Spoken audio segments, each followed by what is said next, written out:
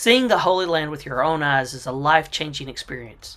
Join us this December as we will visit the places of Jesus' ministry in Israel and follow in the footsteps of Paul as he brought the gospel to the Gentile world in Greece. Hope you'll be able to join us.